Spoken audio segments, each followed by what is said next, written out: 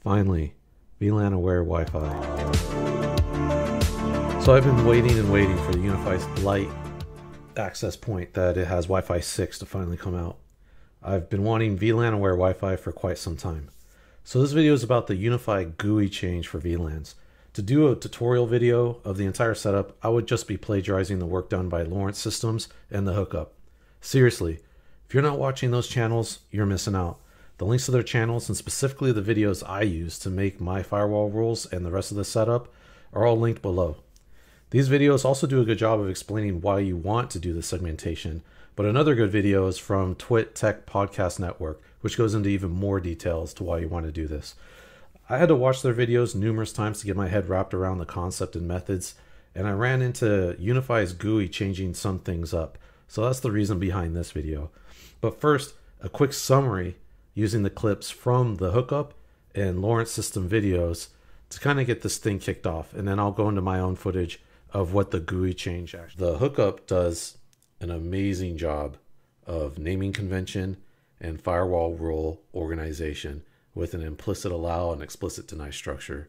You also get tips for groups, aliases, and pfSense uh, for IoT devices, their IPs, and their ports. Also, tips like enabling IGMP snooping to make the network more efficient, and the mention of using MDNS.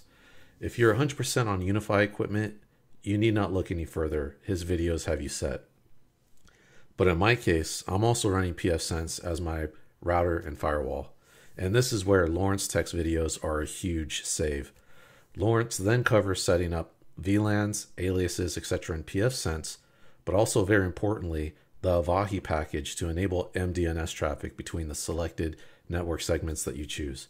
This is where I did some mix and match with the hookups, naming conventions, groups, aliases, roles, and also with the settings and, and methodologies of Lawrence Tech. The frustration happened with the UniFi controller software. I built it out on CentOS 7 in a virtual machine, RIP CentOS. And the new GUI is clean, but changes some things. In the Lawrence Tech vid, you can see how under advanced you can choose VLANs. In the newer GUI, we have to do some things differently here. I did some dodgy, janky network stuff on there that worked, but I didn't really like it and I reversed it. And ultimately, this is what I settled on in the following. And so here on mine, you can see we go to go to uh, settings and uh, advanced features. You add your VLAN network here. So you're going to give it its name and your VLAN ID. And per the other video guidance, even enable the snooping. And then when you go to Wi-Fi, then you can add. In my case, I'm already maxed out, so I'm just going to go edit here to show you the GUI. And you put in the information, and now in the drop down, you'll have that VLAN information available for that SSID. And that was the little GUI change. And so now screen recording on my OnePlus 6. Oh, there's my pooch.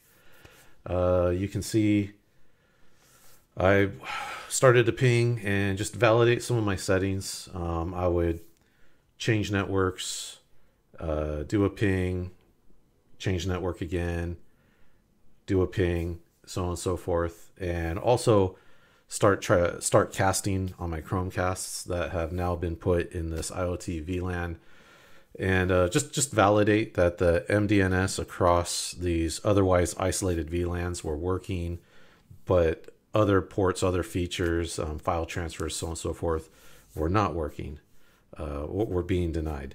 So, um, really excited to finally have done this to my network, even though I know uh, the odds are some type of threat actually acts on these things. It's, it's just nice to to uh, mitigate things as best as possible, and I just like learning these things. Thank you.